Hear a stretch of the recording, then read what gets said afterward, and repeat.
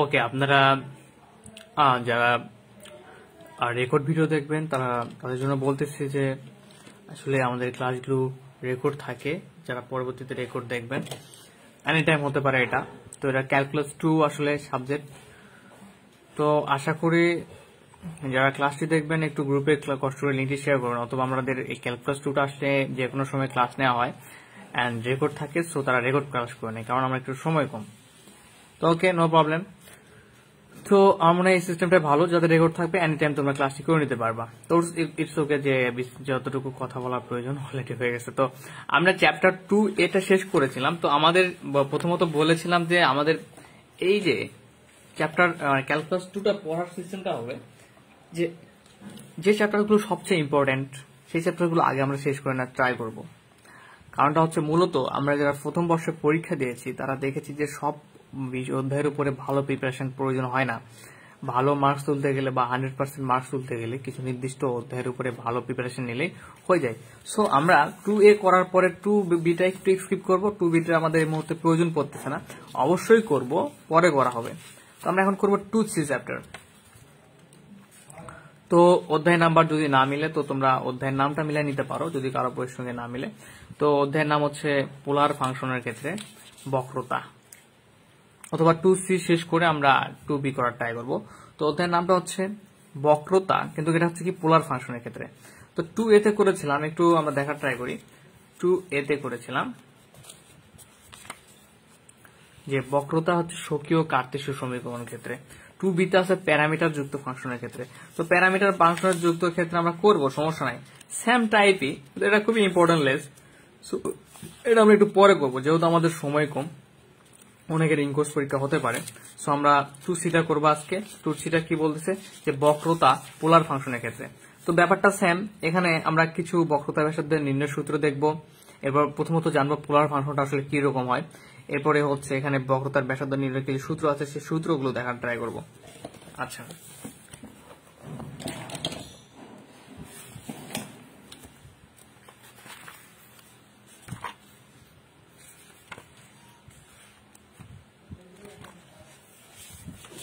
এটা আমি একটু বের করে ফেলি।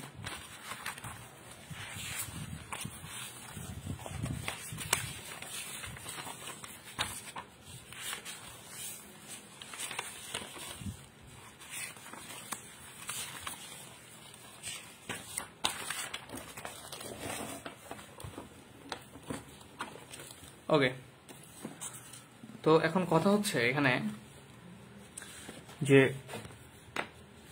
টু সি কিসের শূন্য পোলার ফাংশনের ক্ষেত্রে আমাদের এই চ্যাপ্টার করতে হচ্ছে?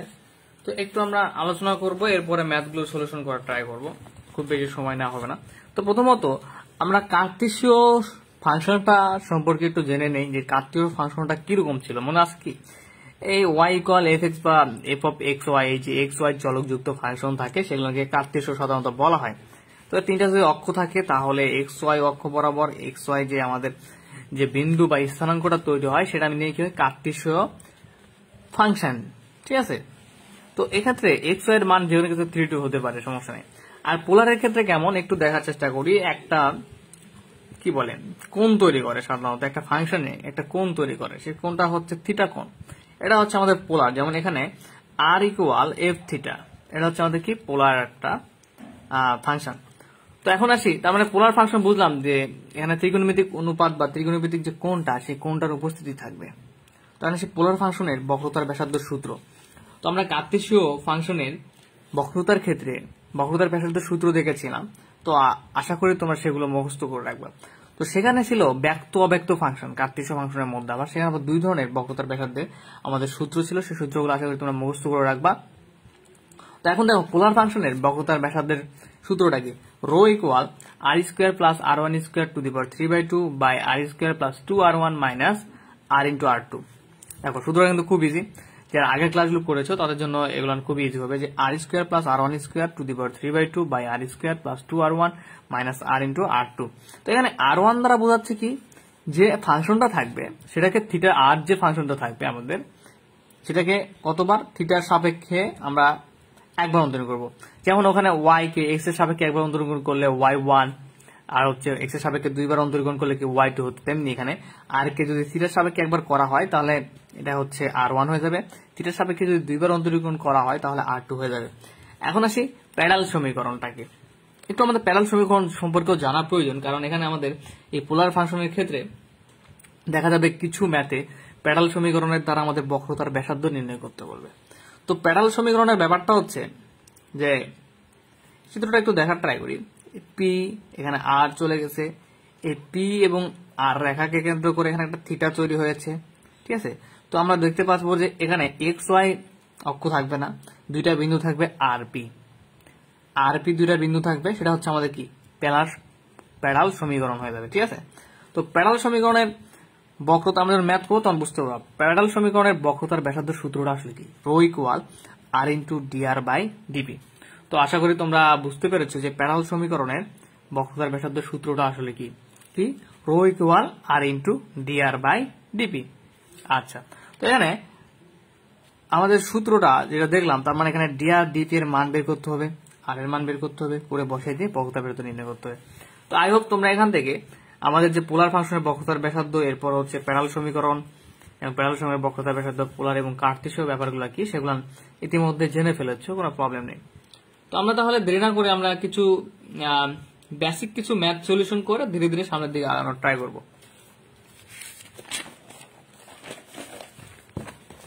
একটু খেয়াল করো।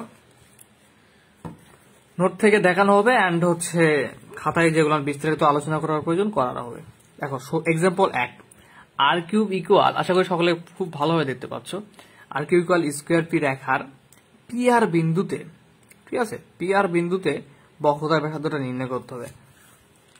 প্রশ্নটা থেকে কিছু কথা মনে পড়তেছে? পি আর বিন্দুটা যখন পি আর সমীকরণটা যখন আর পি দ্বারা তৈরি এখন এক্স ওয়াই নাই। তার মানে কি? এটা হচ্ছে আমাদের একটা পেডাল সমীকরণ ওকে পেডাল সমীকরণ কীভাবে বুঝব? দেখবা যে কোনো এক্স ওয়াই চলক থাকবে না, আর বিন্দুগুলো থাকবে কি আর পি একটু আগে পেডাল সমীকরণ সম্পর্কে আলোচনা করা হলো, একটু খেয়াল করি। পেডাল সমীকরণ বিন্দুগুলো হচ্ছে আর পি তো তাহলে, এখানে আর পি বিন্দুতে বক্রতা ভেদটা আমাদের কি করতে হবে? নির্ণয় করতে হবে। তো প্রদত্ত সমীকরণটা আমাদের এখানে আসতেছে r q equal square p okay এই যে সমীকরণটা দেওয়া আছে। তো আমাদের বক্রতা ব্যাসার্ধ পেডাল সমীকরণ বক্রতা ব্যাসার্ধ সূত্রটা কি ছিল? Rho equal r into DRP তো ডিআরপি নির্ণয় করতে গেলে কি করতে হবে এই সমীকরণ থেকে? অবশ্যই আমাদের এক্সের সাপেক্ষে একবার বা অন্তরীকরণ করতে হবে। কিন্তু এখানে যেহেতু বিন্দু পি আর তাহলে আমাদের এখানে এই সমীকরণ থেকে ডিআর ডিপি আনতে আনতে গেলে দেখো ডিআর ডিপি ডিআর ডিপি মানে কি? পি এর সাপেক্ষে আর কে আমরা কি করতেছি? সূত্র অনুযায়ী পি এর সাপেক্ষে আর কে অন্তরীকরণ করতেছি। ঠিক আছে? তো তাহলে আমাদের কি করতে হবে? অবশ্যই এই যে সমীকরণটা আছে, এটাকে পি এর সাপেক্ষে অন্তরীকরণ করে ডিআর ডিপিটা আমাদের বের করে ট্রাই করতে হবে। তো একটু দেখি, এই r q equal square p কে যদি আমরা পি এর সাপেক্ষে অন্তরীকরণ করে ফেলি, একটু আমি খাতায় বিস্তারিত বোঝানোর চেষ্টা করি। সমীকরণটা হচ্ছে আর কিউ ইকুয়াল হচ্ছে স্কোয়ার পি তো এখানে পি এর সাপেক্ষে যদি অন্তরীকরণ করা হয় d d p r q d d p square p তাই না? এরকম হবে। তো দেখো আমাদের যখন এক্স ওয়াই বিন্দু থাকে বা এক্স ওয়াই চলক থাকে এক্সের সাপেক্ষে যদি অন্তরীকরণ করা হয় ওয়াই যুক্ত যদি কোনো ফাংশন থাকে, তখন কি হয়ে যায়? ডি ওয়াই ডিএক্স এক্সের সাপেক্ষে ওয়াই কে অন্তরীক করতেছি, কিন্তু ওয়াই তো কোনো আমাদের সূত্র জানা নাই। ওয়াই এর কি কোনো সূত্র জানা আছে নাই? তো সেক্ষেত্রে কি হয়? আমাদের যে যদি এইরকম থাকে ওয়াই স্কোয়ার থাকে, এটাকে যদি এক্সের সাপেক্ষে অন্তরীক করা হয়, তাহলে আমাদের এক্স যদি এনের যে সূত্রটা জানি সেই সূত্রটা প্রয়োগ করি প্রথমত টু ওয়াই এরপর যেহেতু এটা মূল এক্স না, যেহেতু এক্স মনে করে এক্সের সাপেক্ষে অন্তরীণ করছে ওয়াই কে, তাহলে কি হয়? ডি ওয়াই ডি এক্স কে আবার ওয়াই সাপেক্ষে অন্তরীক করা অবস্থায় রেখে দিতে হয়, যেহেতু মূল এক্স না। সেম ভাবে এখানে আর কিউবটা পি এর সাপেক্ষে করতেছি, কিন্তু এখানে তো পি নাই মূল ফাংশনে কিন্তু যেহেতু আর এবং পি এই দুইটা বিন্দুতেই আমরা কি স্থানাঙ্গতে আমরা কি করতেছি? অন্তরীকরণ করতেছি। এখানে ধ্রুবক হলেও এটা জিরো হবে না, কারণ এই দুটা স্থানাঙ্গকে কেন্দ্র করে আমরা কি করতে অন্তরীকরণ করতেছি। তাহলে x to the power n এর যে সূত্রটা ডিডি এক্স যে পাওয়ার সামনে আসে এক্স এবং পাওয়ার মাইনাস ওয়ান তো এখানে আর কিউবকে করলে কি হবে? আর পাওয়ার সামনে আসবে এবং থ্রি আর এর উপরে power minus one three minus one মানে কত? টু থ্রি আর স্কোয়ার আসি আর এটা তো মূল পি না তো। তাহলে এটাকে আরেকবার আমরা কি করব? পি এর সাপেক্ষে এই আরটাকে অন্তরীকরণ করব। ডিআর ডিপি চলে আসলো। এই যে ডিআর ডিপি ওকে এখন স্কোয়ার তো এখানে কি ধ্রুবক পদ? এর সঙ্গে অন্তরীকরণ যখন ফাংশন আছে। কীভাবে বুঝব যেহেতু পি এর সাপেক্ষে অন্তরণ করতেছি, এখানে পি তো আছে। তো ডিডি পি যদি করা হয় পি এর সাপেক্ষে পি কে যদি অন্তরীকরণ করা যেমন এক্স সাপেক্ষে এক্স করলে হবে ওয়ান তেমনি এখানে পি এর সাপেক্ষে পি কে অন্তরীকরণ করলে হয়ে যায় ওয়ান অর্থাৎ তাহলে থ্রি আর স্কোয়ার ইকুয়াল আসতেছে আমাদের স্কোয়ার তো দেখো, এই ব্যাপারটা এখানে কিন্তু ডিটেলস করানো হয় নাই। ঠিক আছে? তাহলে এখানে আমাদের আসতেছে sorry three r r square into d r d p equal হচ্ছে স্কোয়ার একটু দেখো। তো তোমরা পরীক্ষায় যদি এত ডিটেলস করতে যাও, সময় পাবা না, শেষ হয়ে যাবে। সো একটু অ্যাডভান্স লেভেলে করার ট্রাই করতে হবে। সো পিএসআই অন্তরীকরণ করে পাই, লিখে ডিটেলস মানে ডিরেক্ট করে ফেলা ট্রাই করতে হবে। তাহলে three r square into d r by d p আসতেছে এবং স্কোয়ার ইন্টু ওয়ান আসতেছে। এখন দেখি ডিআর ডিপি এটাকে বাম পাশে রেখে দাও। আর তাহলে থ্রি আর স্কোয়ারটাকে ডান পাশে পার করো তাহলে square by three r square হয়ে যাবে। তোমরা বুঝতে পেরেছ কেন ডিআর ডিপিটা বের করলাম? কারণ আমাদের বক্রতার ব্যাসার্ধ সূত্র জানি এখন rho equal r into d r by d p তো এখন আর ইন্টু ডিআর ডিপির মানটা বের করলাম কত? Square by three r square তাহলে স্কোয়ার বাই এখানে উপরে একটা আর আছে নিচে একটা আর স্কোয়ার আছে। আর এর সঙ্গে আর স্কোয়ার যদি কাটাকাটি করা হয় এখানে দুইটা আর তাহলে নিচে আরেকটা আর আমাদের কি? অবশিষ্ট থাকবে অবশ্যই। তাই না? তো তাহলে এখানে স্কোয়ার বাই হচ্ছে আমাদের থ্রি আর চলে আসবে। আচ্ছা তো এটাই হচ্ছে আমাদের কি? যে প্যাডাল সমীকরণের মাধ্যমে আমাদের যে বক্রতার ব্যাসার্ধ নির্ণয়, সেটা। প্রশ্নে কিন্তু উল্লেখ থাকবে উল্লেখ থাকবে না যে এটা প্যাডাল সমীকরণ কিনা। তো প্রশ্ন দেখে আমাদের প্যাডাল সমীকরণ বুঝতে হবে যে এখানে আর পি সমীকরণে আছে কিনা এবং বিন্দুগুলা কি পি আর কিনা। তো এরকম ম্যাথ আবার সামনে করব। সো এখন এটা যদি সালে না আসে, তাও করানো হলো। কারণটা হচ্ছে বেসিক জানা জরুরি। অন্যান্য জায়গায় দেখবা যে তোমাকে এগুলো করাবে না ডাইরেক্ট সালেরগুলা শুধু করাবে। সালের করাটা মূলত ইম্পর্টেন্ট না, কারণটা হচ্ছে কি প্রথমত, কারণ তোমার বেসিকটা জানা প্রয়োজন, তারপর সালেগুলো করা হবে এরপর এক্সাম্পল আরেকটা দেখা যাক। যদিও তোমরা প্রশ্ন এক্সাম্পলটা তোমাদের বইয়ের সঙ্গে না মিললে, একটু মিলাই নিবা, কারণ এই ক্লাসগুলো রেকর্ড হচ্ছে ভবিষ্যতে যারা কোর্স করবে তাদের জন্য, যাতে তারা এই সেম ক্লাস করতে পারে। যাতে কোর্স ফিটা আমি একটু অনেক কম রাখতে পারি তো, যাদের যারা পরবর্তীতে করবে। আচ্ছা এরপরে দুই নম্বর একটা প্রশ্ন আছে, বই থেকে দেখানোর ট্রাই করি, যে থিটা ইকুয়াল জিরো বিন্দুতে r equal a theta plus sine theta রেখার বক্রতার পেশাদ্য নির্ণয় করতে হয়। তো মজার ব্যাপার দেখো, এখানে কিন্তু সমীকরণটা দেখে বুঝতে পারতেছে এটা কি। এটা কিন্তু তোমার পোলার সমীকরণ চলে আসছে পোলার ফাংশন চলে আসছে। কারণ এখানে তুমি দেখতে পাচ্ছ থিটা সাইন থিটা মানে থিটা কোন চলে আসছে। ঠিক আছে? আর বিন্দুও কিন্তু জিরো বিন্দু পি আর বিন্দু কিন্তু না। ঠিক আছে? তো সো আমরা এই ক্ষেত্রে বলতে পারি যে এখানে আমরা এই যে ব্যাপারটা আছে, এখানে পেটাল সমীকরণটা আমাদের প্রয়োগ করতে হবে না। এখানে আমরা জাস্ট যদি চাই যে যে পোলারের ক্ষেত্রে, পোলার ফাংশনের ক্ষেত্রে যে বক্তার সূত্র, সেটা প্রয়োগ করতে পারব। তবে এমনও হতে পারে কখনো। দেখা গেল পি আর যে থাকতে হবে বিন্দু এরকম না। এই যে পি এর জায়গায় থিটা বা পি এর জায়গায় অন্য কোনো বিন্দু আছে, সেগুলোর দ্বারা কিন্তু পেটাল সমীকরণ বুঝাইতে পারে, ওকে? তো আমরা পরবর্তী ম্যাথগুলো করব, সমস্যা নেই। আচ্ছা তাহলে এই ম্যাথটা সলিউশন করার ট্রাই করি। তো প্রদত্ত সমীকরণ হচ্ছে আমাদের r equal a theta plus sine theta এখন থিটার সাপেক্ষে যদি একবার আমরা এটাকে অন্তর্গণ করতে হবে, কারণ আমরা পোলার ফাংশনের বক্রতার ব্যাসার্ধের সূত্রটা কি মনে আছে তোমাদের? এই যে r square plus r one square to the power three by two by r square plus two r one square plus r into r two তো তাহলে এখানে আর ওয়ান মানে থিটার সাপেক্ষে একবার আর যে ফাংশনটা দেওয়া আছে, সেটাকে নতুন করে আর ওয়ান করতে হবে, এরপর আরেকবার করে আর টুটা বের করতে হবে। তো খুব স্বাভাবিক ব্যাপার, আমি একটু তোমাদের সুন্দর করে বের করে দেখাচ্ছি। দেখো, এই যে ফাংশনটাকে, এটাকে থিটার সাপেক্ষে কি করব? একবার আমরা অন্তরীকরণ করে ফেলব। ওকে, তো এই ফাংশনটাকে একবার আমরা থিটার সাপেক্ষে যদি অন্তরীকরণ করি, কেমন দেখি। ফাংশনটা হচ্ছে r equal a theta plus sine theta okay তো এটাকে আমরা থিটার সাপেক্ষে একবার অন্তরীকরণ ফেলি। তো ডি থিটা তো আর ইকুয়াল হচ্ছে d d theta a theta plus sine theta okay তো এখন, এখানে থিটার সাপেক্ষে আর কে একবার অন্তরীকরণ করলে কি হয়ে যাবে আমাদেরকে? ডিআর ডিটা হয়ে যাবে ডিআর ডিটা থাকে ডিআর ডিটা থাকে ডিআর ডিটা অবস্থায় থাকবে, অথবা আমরা জানি যে আর ওয়ান হয়ে যায়। মানে এই আর ওয়ান মানেও কি? ডিআর বাই ডি ডিটিটাই যে একবার অন্তরীকরণ করা হচ্ছে। আর ওয়ান হয়ে গেল। এখন এখানে ধ্রুবক পদ কোনটা? ডি ডিটিটা যে সাপেক্ষে করতেছি। ওকে থিটার সাপেক্ষে কেন করতেছি? আর এর সাপেক্ষে না করে প্রশ্ন থাকতে পারে, কারণ আমাদের তো আর ওয়ান প্রয়োজন। তো আর ওয়ান নিতে গেলে আমাদের থিটার সাপেক্ষে অবশ্যই অন্তর্গত অন্তরীকরণ করতে হবে।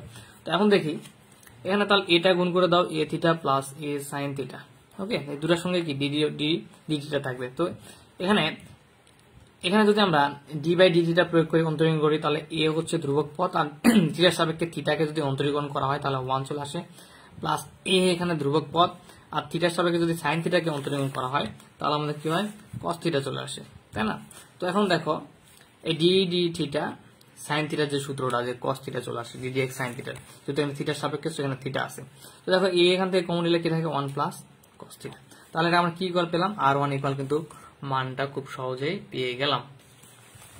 ওকে তো দেখো তাহলে এখানে আর ওয়ান ইকুয়াল আমাদের কি চলে আসলো?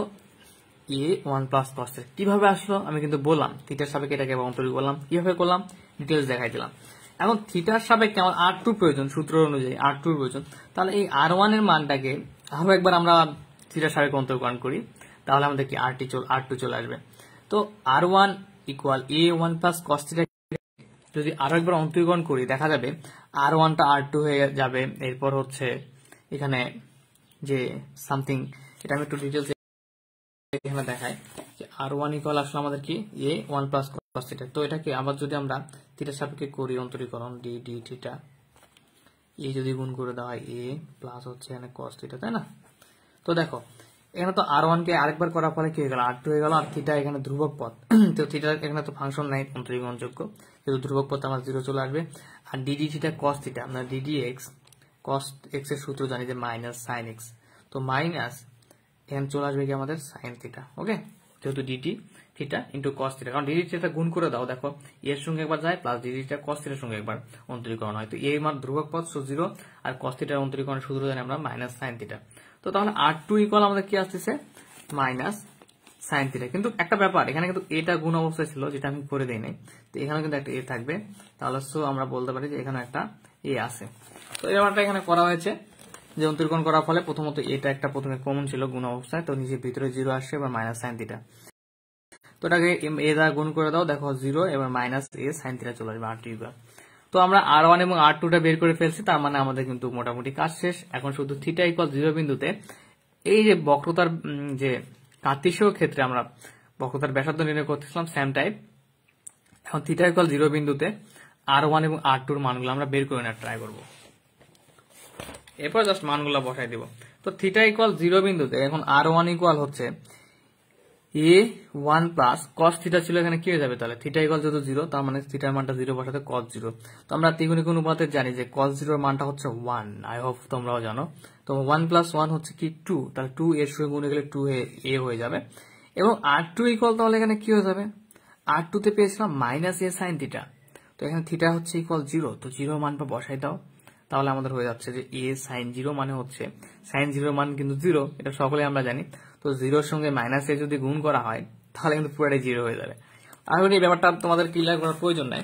আমরা সাইন জিরো ডিগ্রির মান কত জানি? জিরো কারণ জিরো বাই ফোর আমাদের সহজের মান বের করার তিন মান বের করার যে রুলস জানি। তাহলে মান বের করার সিস্টেম বা মানগুলো জেনে নেবা। এবার কস জিরো ডিগ্রি মান কত আমরা জানি? ওয়ান এখানে ওয়ান বসাইছি, এখানে জিরো ডিগ্রি মান জিরো বসাই ফেলছি। তো পুরো মানটাই তাহলে আমাদের কি হয়েছে? জিরো হয়ে গেছে। আচ্ছা। আবার আর ছিল। আর হচ্ছে মূল যে সমীকরণ ছিল সেটা। তো আমাদের মূল সমীকরণটা ছিল যে, আমাদের মূল সমীকরণটা ছিল যে r equal a maybe theta plus sine theta তাই না? একটু তোমরা যদি বইয়ে মূল মূল সমীকরণটা দেখো যে আর ইকুয়াল এ সরি হ্যাঁ r equal a into theta plus sine theta তো এখানে থিটার মানটা বসে দাও মূল যে সমীকরণটাতে। তো জিরো হবে এখানে থিটার মান জিরো বসে সাইন জিরো বসালে জিরো তার জিরোর সঙ্গে যদি পুরাটা গুণ হয়ে যায়, তো এর গুণ হয়ে গেলে তো পুরাটা জিরো হয়ে যাবে। তো আমরা দেখো আর ওয়ান আর এবং আর এর মানটা পেলাম। এখন কি করব? বক্রতার ব্যাসার্ধের যে সূত্রটা আমরা জানি, পোলার ফাংশনের ক্ষেত্রে, সেখানে জাস্ট আমরা সূত্রটা, তো রো ইকুয়াল তাহলে আর স্কোয়ার প্রথমত। তো আর এর মানটা কত আমরা এখানে দেখতে পেলাম? জিরো তো জিরোর উপরে square plus r one square তো আর ওয়ানের মান কত আমাদের টু এ? টু এর উপরে স্কোয়ার দিয়ে দাও to the power three by two এখানে আর স্কোয়ার আর এর মানটা কত আমাদের জিরো তো আমাদের zero square plus two r one r ওয়ানের মানটা বসে দাও টু এ এর উপরে square minus r into r এর মান জিরো ইন্টু আর টু হচ্ছে জিরো ওকে তো একটু খেয়াল করো। এখন এখানে টু এর উপরে স্কোয়ার আছে জিরো তো জিরোই জিরোর উপরে পাওয়ার থ্রি বাই টু আছে, দিলে যেটা সেটাই হয়ে যাবে। তো zero plus two a square মানে টু এ স্কোয়ারই তো টু স্কোয়ারের উপরে পাওয়ার থ্রি বাই টু দিলে কি হয়ে যাবে এই স্কোয়ার টু কেটে যাবে না? কেটে গেলে শুধু থ্রি থাকবে। এবং এখানে দেখো এখানে দেখো, একটু টু এর উপরে স্কোয়ার মানে কত? Four a square four a স্কোয়ারের সঙ্গে যদি এই টুটা গুণ হয়ে যায়, তাহলে কি যাবে? Eight a square okay so two a cube মানে কত? আমি একটু ব্যাপারটা একটু তোমার আরেকটু দেখাই। যে টু এর উপরে স্কোয়ার আসলে এরপর কত ছিল? পাওয়ার থ্রি বাই টু কিন্তু এই পাশে, প্রথম দিকে উপরে। তো টু এ স্কোয়ার এখানে থ্রি বাই টুটা কি? পাওয়ার হিসেবে গুণ অবস্থা আছে three by two a into তা টু টু কেটে যায় না, তারা থাকে টু এ বাই থ্রি থাকে। এরপর নিচে দেখো ফাইনালি যে লাইনটা চলে আসলো এরকম টু এ কিউব বাই হচ্ছে এইট এ স্কোয়ার তো উপরে দেখো টু এর উপরে কিউব মানে কত? এইট এর উপরে কিউব মানে a cube by eight square তো এইট এইট কেটে দাও এ কিউব স্কোয়ার থেকে এ কিউব কাটলে একটা এ থাকে, কারণ এখানে দুইটা, এখানে তিনটা। শুধু এ থাকল। তো মডুলাস দেওয়ার কারণ, প্রথমত সূত্র কিন্তু মডুলাস নাই। কিন্তু মডুলাস দেওয়ার কারণটা হচ্ছে এটা আসছে এর মান তো কিছু, যেগুলো কিছু হতে পারে, ধনাত্মক, ঋণাত্মক হতে পারে, তাই না? বাস্তব সংখ্যা কিন্তু ধনাত্মক, ঋণাত্মক হতে কিন্তু ব্যাসার্ধ কখনোই ঋণাত্মক হয় না। সো আমরা উত্তরটা যখন আসবে, উত্তর থেকে বোঝার চেষ্টা করব, এটা কি ঋণাত্মক হওয়ার সম্ভাবনা আছে নাকি? তখন উভয় পাশে মডুলাস দিয়ে দেবো, যদি সম্ভাবনা থাকে, যেহেতু এর মান বাস্তব এবং ধনাত্মক বা ঋণাত্মক হতে পারে সো আমরা মডুলাস দিয়ে নিলাম। তো এটা হচ্ছে কি আমাদের এই যে বক্রতার ব্যাসার্ধ নির্ণয়, সেটা বক্রতার ব্যাসার্ধটা নির্ণয় হয়ে গেল। এখন আমরা যে এক্সাম্পলটা সলিউশন করব, সেটা হচ্ছে এক্সাম্পল চার। আমি চেষ্টা করতেছি তোমাদের একদম একটা চ্যাপ্টারে সকল ধরনের ম্যাথের সম্পর্কে ধারণা রাখার যাতে কোনো ম্যাথ আসলে যেন তোমরা সমস্যা নয়। তো দেখো, একটু প্রশ্নটা বোঝার ট্রাই করো, প্রথমত। চার number example r equal a one minus cos theta রেখার আর থিটা বিন্দুতে বক্রতার ব্যাসার্ধ নির্ণয় করতে হবে। ওকে তো, আমরা একটু দেখি যে এটা আসলে পেডাল সমীকরণে আছে কিনা পোলার দেখা যাচ্ছে থিটা আছে বিন্দু সমস্যা কিন্তু এখানে বিন্দুগুলা দেখো একটু। বিন্দুগুলা আমাদের ঝামেলা করে ফেলছে। Right.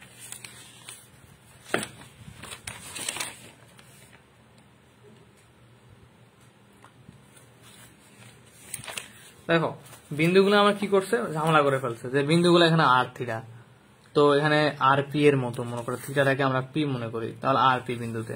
তো এখন ঘটনা হচ্ছে পি আর বা আর পি বিন্দুতে বক্রতা নির্ণয় করতে গেলে আমাদের কি হয়ে যায় এটা? প্যারাল সমীকরণ হয়ে যায়।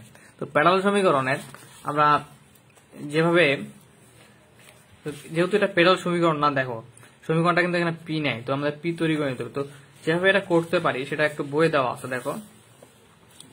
যে সাপোজ পি আর সম্পর্কিত সমীকরণকে পেডাল সমীকরণ বলা হয় ওকে, তো দেখো এ একল আর টু আর থিটা বিন্দু যদি স্পর্শক হয়ে থাকে, যেমন এখানে আর থিটা আছে, সেক্ষেত্রে কিন্তু আমাদের প্যারাল সমীকরণের পিটা কিন্তু আনার চেষ্টা করতে হবে। দেখো আমাদের প্রশ্নটা সেখানে কিন্তু আর থিটা আছে, তো এখানে তাহলে আমাদের পিটা আনার ট্রাই করতে হবে, চেষ্টা করতে হবে।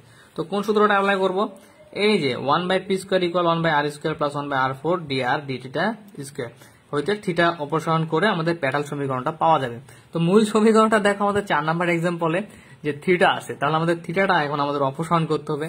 যেহেতু আর থিটা বিন্দুতে, তার মানে আমাদের একটা পেটাল সমীকরণ অবস্থায় আছে। এখান থেকে থিটা মিস্টার বাবাজির থিটাকে অপসারণ করে ফেলতে হবে। করে আমাদের এখান থেকে পি এর মানটা বের করে ফেলব। One by p square one by r four plus one by r two four d r d theta square সমীকরণ হতে থিটাটা অপসারণ করতে হবে। তো তাহলে আশা করি বুঝতে পারলাম যে কখনো যদি পেডাল সমীকরণ আকার না থাকে, কিন্তু আর থিটা বিন্দু থাকে, সেক্ষেত্রে ওটাকে আমাদের প্যারাল সমীকরণ তৈরি করে নিতে হবে। সেম ভাবে আমরা এক্সাম্পল চার যেভাবে করব এক্সাম্পল পাঁচটাও সেম তো এক্সাম্পল চারটা মনোযোগ সহকারে দেখো এক্সাম্পল পাঁচ হোমওয়ার্ক দেওয়া হবে।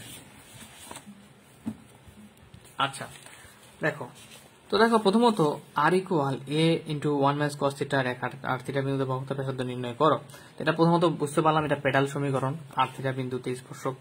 তো এখন এখানে আমাদের পি বিন্দুর মান বের করতে হবে বা এই সমীকরণটাকে চেঞ্জ করে পি করে ফেলতে হবে।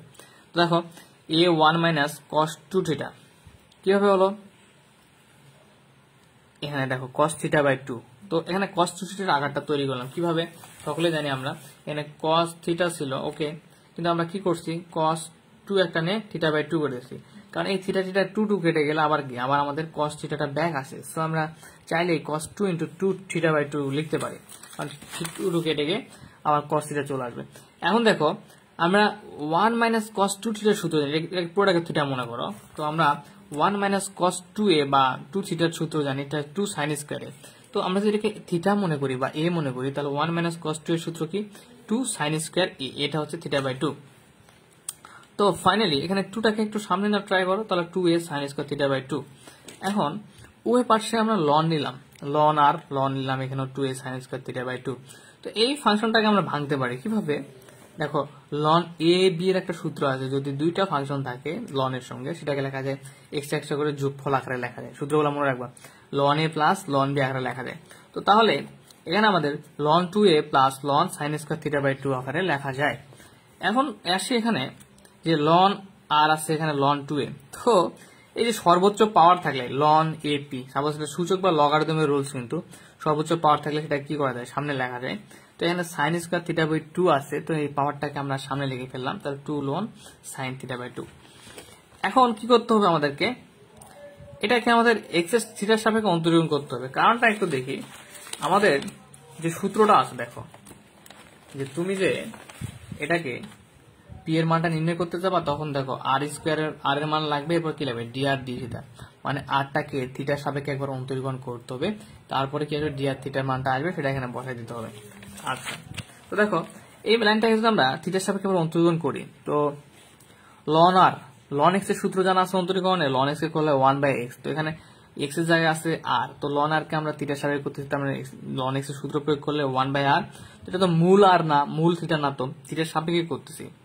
কিন্তু আর থিটা যদি স্থানাঙ্ক, তার মানে এখানে আমাদের এই আটটাও আমাদের কি সূত্র প্রয়োগ হয়েছে অন্তরীকরণের। কিন্তু এটা মূল থিটা না হওয়ার কারণে এই থিটার সাপেক্ষে এই যে আটটাকে আমরা আরেকবার অন্তরীণ করতেছি ডিআর ডি থিটা এবার আসি লন টু এ। তো লন টু এটা হচ্ছে ধ্রুবক পথ। কিন্তু আমি দেখো ডিটেলস কিন্তু একটু কম করাচ্ছি ডিটেলস করাবো না এটা। তো লন টু এ তো ধ্রুবক পথ। এটাকে থিটার সাপেক্ষে ডি বাই ডি থিটা লেগে যদি থিটার সাপেক্ষে করো, তাহলে কি? যেহেতু লন টু এটা পুরাই ধ্রুবক পথ, এখানে কিন্তু আর বা থিটা নাই, বিন্দু নাই, যার সাপেক্ষে আমরা করতে পারি। তো সেটা জিরো হয়ে গেছে। এখন এখানে two loan sine theta by two আছে। তো একটু খেয়াল করো টুটা এখানে ধ্রুবক পথ লন সাইন থিটা এই লন সাইন থিটাটাকে তোমরা এক্স মনে করো অথবা থিটা মনে করো পুরাটাকে তাহলে লন এক্সের সূত্র কি? ডিডি এক্স লন এক্সের সূত্র হচ্ছে ওয়ান বাই এক্স তো এখানে এক্সের জায়গায় তো আছে কি? Theta by two sine theta by two ln sine theta by two আছে। তবে তার মানে হয়ে যাবে ওয়ান বাই এটাকে যদি এক্স মনে করি, তাহলে one by sine theta by two হয়ে গেল এই ব্যাপারগুলো আগেও আলোচনা করা হয়েছে ক্যালকুলাস থ্রি বিতেও আলোচনা করা হয়েছে ক্যালকুলাস ওয়ান থ্রি বি এবং থ্রি এতে আচ্ছা তো এটা তো মূল এক্স না, বা মূল থিটা না সাইন থিটা বাই টুটা সো কি করব? এই সাইন থিটা বাই টুটাকে আমরা আরেকবার হচ্ছে কি করব? অন্তরীকরণ করব। তাহলে হয়ে যাবে, ব্যাপারটা এরকম, একটু দেখি। সরি সরি পর। কে করে উঠল? মনে করো ডিডি থিটা এখানে আছে two ln sine theta by two তাই না? তো এটা তো আমাদের প্রথমত ধ্রুবক হচ্ছে টু ধ্রুবক এখানে লন সাইন থিটা এটাকে আমরা থিটা মনে করি। তাহলে আমাদের আসবে ডি থিটা ডিডি থিটা মনে করো যে হচ্ছে লন থিটার সূত্র হচ্ছে ওয়ান বাই থিটা বা এক্স থাকলে ওয়ান বাই এক্স তো তাহলে এখানে লন এটাকে থিটা মনে করছি, তার মানে ওয়ান বাই থিটা হচ্ছে সাইন থিটা কিন্তু সাইন থিটা তো মূল থিটা না, তার মানে এটাকে আরেকবার আমাদের থিটার সাবেক অন্তর করতে হবে, তাহলে সাইন থিটা বাই টু থিটাটা হচ্ছে থিটা বাই টু তাহলে টু এখানে আছে টু সাইন থিটা টু এখানে যদি সাইন থিটার সূত্র প্রয়োগ করা হয় থিটার সাপেক্ষে, তো তাহলে কি হবে এখানে? থিটা বাই টুটাকে আমরা থিটা মনে করি। তাহলে আসবে কস থিটা কিন্তু এটা তো মূল থিটা না থিটা বাই টুটা তো হচ্ছে মূল থিটা না। তাহলে এটাকে যদি আমরা আরেকবার অন্তরীণ করার চেষ্টা করি থিটা বাই টুর এখান থেকে আমরা আরেকবার যদি চেষ্টা করি, তাহলে এখানে হাফটা কি? ওয়ান বাই টুটা হচ্ছে ধ্রুবক পথ, আর এই থিটাটা হচ্ছে শুধু থিটা থাকল। তাহলে হাফটাকে সামনে নাও। এরপর এই থিটা যেটা থাকল থিটা বাই টু থেকে থিটাটা নিলে, তো তাহলে এটাকে থিটাকে অন্তরীকরণ করলে ডি বাই ডি থিটাকে অন্তরীকরণ করলে ওয়ান আসে, যেমন ডি ডি এক্স করলে ওয়ান হয়, তাহলে এখানে ইন্টু ওয়ান ওকে তাহলে একটু খেয়াল করো, তাহলে আমরা কি পেলাম? মূল এক্স না সো এটাকে আবার সাইন থিটাকে অন্তরণ করলাম সাইন থিটা বাই টুটা তো থিটা না, তার মানে সাইন থিটা বাই টুটাকে আবার অন্তরণ করলাম। তাহলে ফাইনালি আমাদের লাইনটা আসলো এরকম। আশা করি তোমরা এই লাইনটা পারবা।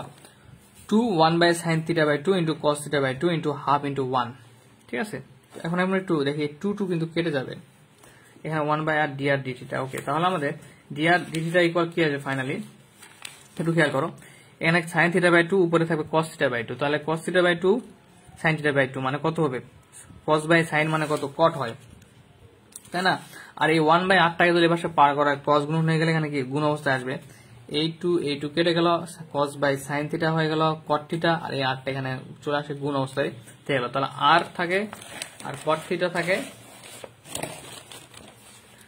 তাই না? তাহলে ডি- অতএব ডি আর ডিটিটা ইকুয়াল হচ্ছে r cot theta by two কারণ বাকি মানগুলো কাটাকাটি হয়ে তো ওয়ান হয়ে গেছে একটু খেয়াল করো। আমরা একটু দেখেছিলাম যে প্যারাল সমীকরণ তৈরি করার জন্য পি এর মানটা প্রয়োজন। আর পি এর মান বের করার জন্য সূত্রটা কি? One by p square equal one by r square plus one by r to দিবার four into d r d ডিটিটা square তো ডি আর ডি ডিটিটা মানটা তো বের করলাম এই জন্যই দেখো, প্রশ্ন দেখে কিন্তু বুঝতে পারবে কোন মানগুলো বের করতে হবে। তাহলে one by r square plus one by r square d r ডিটির মান কত?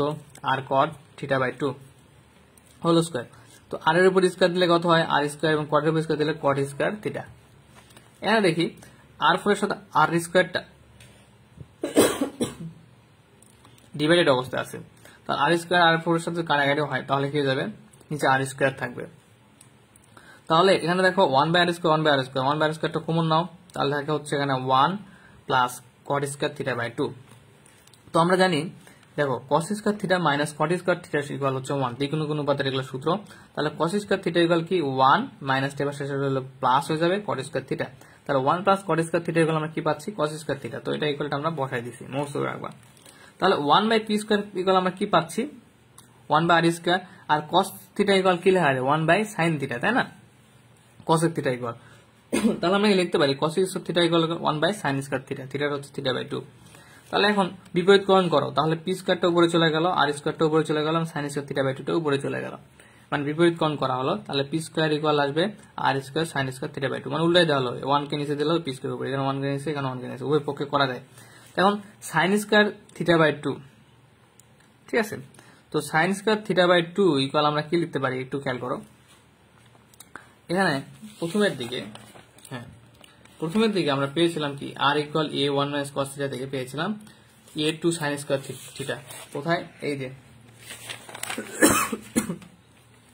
A into two sine square theta by two এখান থেকে আমরা যে কাজটা করব, এই যে sine square theta by two এর মানটা বের করে নেব sine square theta by two এর মানটা। এইভাবে এই টু এটাকে এই পাশে পার করে দাও।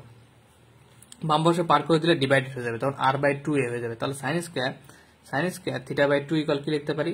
আর বাই টু এ তো এখানে আমরা সেইখান থেকে sine square theta by two কে লিখছি আর বাই টু এ তো আর ইন্টু আর স্কোয়ার গুণ করলে হয় আর থ্রি তাহলে p square equal r three by two a r cube by two a তো এখানে তাহলে এটাকে এক নম্বর সমীকরণ দাও। এখন এই টু এটা পি এর সঙ্গে গুণ করে দাও পি স্কোয়ারের সঙ্গে কত গুণ। তাহলে টু এ পি স্কোয়ার হয়ে গেল এখানে আর কিউব তো আর কিউব ইকুয়াল তাহলে টু এ পি স্কোয়ার পেলাম। এখন আমাদের যে কাজটা করতে হবে, যে প্যারাল সমীকরণের আহ, সূত্র কি? ব্যাসার্ধ নির্ণয়। তো দেখো এটা কিন্তু আমাদের এখন কিন্তু প্যারাল সমীকরণ তৈরি হয়ে গেল কারণ এই সমীকরণে আর আর পি আছে। অন্য কিছু বংশ নাই থিটা নাই বা অন্য কিছু নাই কিন্তু আর পি চলে আসে। আর আমরা জানি আর পি স্থানাঙ্ক থাকলে সেটা কি? প্যারাল সমীকরণ। ওকে তাহলে এটাকে আমরা পি এর সাপেক্ষে অন্তর্গণ করি। কারণ সূত্রটা দেখো প্যারাল সমীকরণের বক্রতা ব্যাসার্ধনের সূত্র হচ্ছে আর ইন্টু ডিআর ডিপি তার মানে ডিআর ডিপি নির্ণয় করতে গেলে পি এর সাপেক্ষে আর কে অন্তর্গণ করতে হবে। তাহলে পি এর সাপেক্ষে এটা যদি অন্তর্গণ করা হয় r cube two a p square তাহলে আমি একটু এখানে দেখাচ্ছি details r cube equal two a p square তো দেখো d d p r cube d d p two a p square okay তাহলে আর টু দি বা এন এর সূত্র প্রয়োগ করা হলে এখানে থ্রিটার সামনে আসবে আর স্কোয়ার হয়ে যাবে, তাই না? D d x x to the এর সূত্র এন পাওয়ার সামনে, এবার x n power minus one এখন এটাকে আবার যদি আমরা মূল এক্স তো না আটটা মূল পি না তো, তাহলে এখানে কি হবে? এটাকে আবার পি এর সাপেক্ষে রূপান্তর করতে। তাহলে ডিআর ডিপি আর এখানে দেখো ডিপি পি এর সাপেক্ষে করলে টু এখানে ধ্রুবক, তাহলে পি স্কোয়ারকে যদি পি এর সাপেক্ষে করা, তাহলে টু পি চলে আসবে, আমরা সবাই জানি। যে এক্স স্কোয়ারকে এক্স সাপেক্ষে অন্তরণ করলে টু এক্স আসে, সেখানে পি এর সাপেক্ষে পি কে করতেছি সো পি স্কোয়ারকে করলে টু পি চলে আসে। তো তাহলে আমরা ডিআর ডিবির মানটা বের করে ট্রাই করি। ডিআর ডিবি রেখে দাও। এখানে হয়ে যায় ফোর এপি থ্রি স্কোয়ারটা এবার পার করে দিলে ডিভাইডেড হয়ে যায়। আচ্ছা।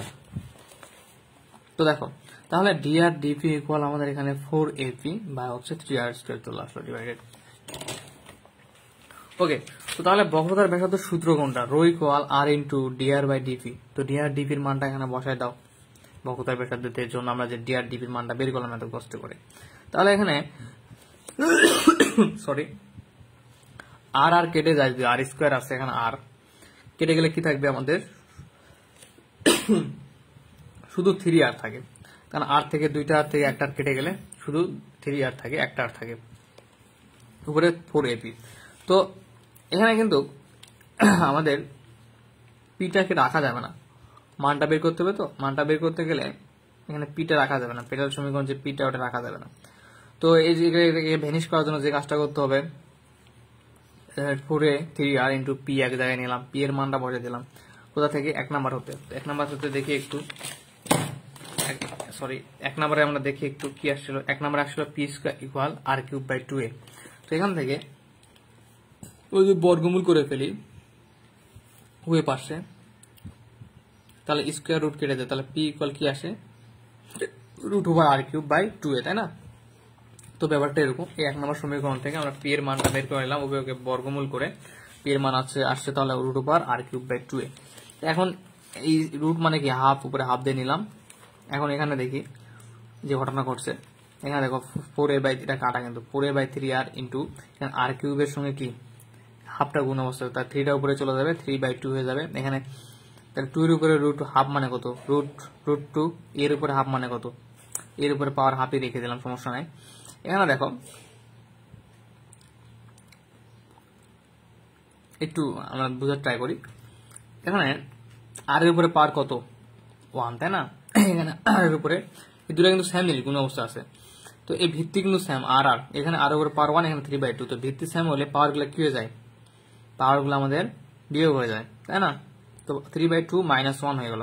আর এখানে ফোরে আছে ওকে তো এই এটা আবার কি হয়ে যাবে এখানে? এখানে ভাগ অবস্থায় থাকার কারণে ভিত্তি সেম এ এর সঙ্গে পাওয়ারটা গিয়ে যাবে মাইনাস হয়ে যাবে। এখানে এর পাওয়ার ওয়ান আছে ওয়ান মাইনাস নিজের পাওয়ারটা গিয়ে গেল। ভিত্তি সেম ওখানে মাইনাস হয়ে গেল। আর এখানে ফোর আছে, এখানে রুট টু আছে। তো ফোর আর রুট টু কীভাবে কাটা যায়? ফোর মানে কত? ফোরকে যদি আমরা ভাঙার ট্রাই করি টু গুণন টু টু গুণন টু মানে কত? আমি এটা একটু ডিটেলস করে দেখাচ্ছি প্রায় শেষের দিকে ডিটেলস করে দেখাই। ছিল এরকম ফোরে r cube three by two by হচ্ছে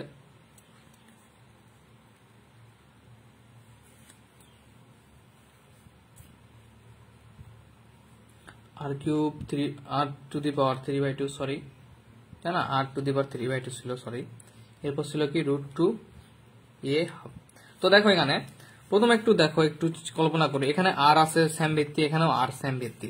এখানে এ স্যাম ভিত্তি, এখানে এ স্যাম ভিত্তি। সূচক বা লগারিদম রুল জানি এ টু দিবার এ টু দিবার এন স্যাম ভিত্তি হলে পাওয়ারগুলো কীভাবে বিয়োগ করতে হয়? ভাগ অবস্থায় থাকলে। তো উপরে ফোর আছে, প্রথমে এটাকে একটু দেখি। ফোর কে কীভাবে লেখা যায়? টু গুণন টু তাই না? তো টু গুণন টু টু কে কীভাবে লেখা যায় রুট টু গুণন রুট টু তাহলে এটা কিন্তু গুণ করে দেখো রুট টু রুট টু মানে টু টু গুণন টু মানে ফোর আচ্ছা। নিচে কি আছে? মনে করো থ্রি আছে, যে সংখ্যাগুলো একসঙ্গে থ্রি রুট টু আছে। আচ্ছা থাকুক এখানে দেখো আর একটা ভিত্তি আছে, এখানে আরেকটা ভিত্তি। তো পাওয়ারগুলো যেহেতু ভিত্তি সেম পাওয়ারগুলো তাহলে কি ভাগ অবস্থা থাকলে পাওয়ারগুলো মাইনাস হয় থ্রি বাই টু নিজের একটা পাওয়ার নিজেরটা মাইনাস হয়। এবং ই এখানে, এখানেও ই তো উপরে পাওয়ার যেটা আছে, সেটার সঙ্গে নিজের পাওয়ারটা কি মাইনাস হয়ে যায় ভিত্তি সেম তাই তো রুট টু রুট টু কেটে দাও। তাহলে two root two by three আসবে into r to the power three two minus one এরপর a to the power one minus half তো কেন আসলো, কীভাবে আসলো আসলে বুঝতে পারছ। তাহলে two root two by three sorry three by two থেকে এক বাদ দিলে হাফ আর এ ওয়ান থেকে হাফ বাদ দিলে হচ্ছে হাফ থাকে। তো finally two root two by three এখন দেখো, তাহলে এখানে, এখানেও হাফ এখানেও হাফ তাহলে আমরা দুইটা মিলে একসঙ্গে লিখতে পারি যে এ এক টু দি পাওয়ার হাফ তো মেবি এটা আমাদের হচ্ছে কি? হচ্ছে প্যাডাল সমীকরণ যে ব্যাঘাত নির্ণয় করতে বলছিল প্যাডাল সমীকরণ ছিল না, কষ্ট করে তৈরি করলাম আমরা। তা এটা হচ্ছে আমাদের সেই অ্যান্সারটা কাঙ্ক্ষিত। ঠিক আছে? হ্যাঁ।